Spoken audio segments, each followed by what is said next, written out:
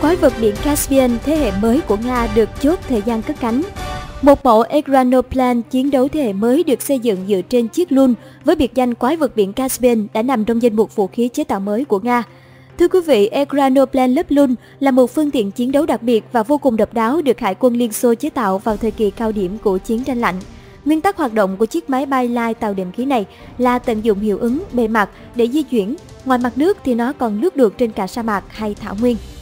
Ekranoplan lớp luôn được mệnh danh là quái vật biển Caspian nhờ tốc độ di chuyển cực nhanh, rất khó bị radar phát hiện và đặc biệt là vũ trang cực mạnh với 6 tên lửa hành trình chống hạm siêu âm Moskit.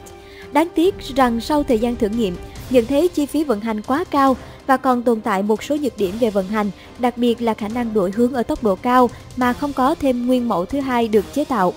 Sau thời gian hoạt động ngắn ngủi trong hạm đội Caspian, kiệt tác quân sự của Liên Xô này đã bị vứt xó tại bến tàu trong thời kỳ suy thoái nặng nề của nước Nga.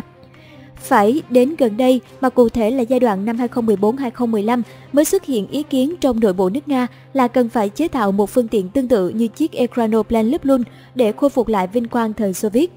Đến giữa tháng 7 2018, những hình ảnh do kênh truyền hình ngôi sao của Nga đăng tải cho thấy chiếc Ekranoplan này đã được đưa từ bến tàu về nhà máy để tiến hành sửa chữa. Điều này dẫn đến hy vọng rằng con quái vật biển Caspian trên sẽ sớm hoạt động trở lại trong hạm đội hải quân Nga, thậm chí còn được nâng cấp đáng kể để mang thêm những vũ khí mới. Tuy nhiên thực tế đã chỉ ra rằng trải qua hơn 20 năm phơi mưa phơi nắng ngoài trời và còn bị ngâm trong nước biển, khung vỏ của chiếc Lun đã bị hư hỏng nặng nề và không thể khôi phục hoạt động. Do vậy chiếc Lun được sửa chữa chắc chắn chỉ nhằm đưa nó vào bảo tàng để trưng bày mà thôi và trong tương lai người Nga sẽ phải chế tạo một phiên bản mới của quái vật biển Caspian. Không phải chờ đợi lâu, Phó Thủ tướng Nga Yuri Borisov mới đây đã công bố thời gian ra mắt của chiếc Ekranoplan thế hệ mới mang tên là Orlan. Phương tiện này được coi là bản sao của chiếc Lun. Bản thử nghiệm của Ekranoplan Orlan sẽ được chế tạo theo chương trình vũ khí hiện tại của Nga. Phó Thủ tướng Nga ông Yuri Borisov cho biết, trong chương trình vũ khí quốc gia 2018-2027 có kế hoạch thiết kế thử nghiệm Ekranoplan Orlan và phiên bản thử nghiệm sẽ được chế tạo. Khi được chế tạo và sản xuất với số lượng tương đối, Ekranoplan Orlan được trang bị tên lửa sẽ đảm nhận nhiệm vụ tuần tiễu tại một số khu vực thuộc biển Caspian và Biển Đen. Hiện tại, công việc thiết kế, nghiên cứu và phát triển phương tiện này theo truyền thống được giao cho Cục Thiết kế Trung ương mang tên là Alexeyev tại thành phố Nizhny Novgorod.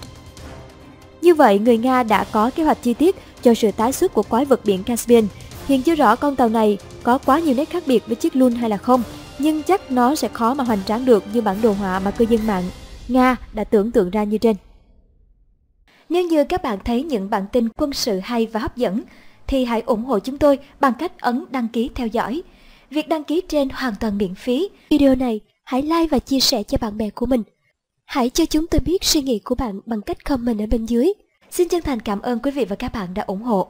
Xin chào và hẹn gặp lại.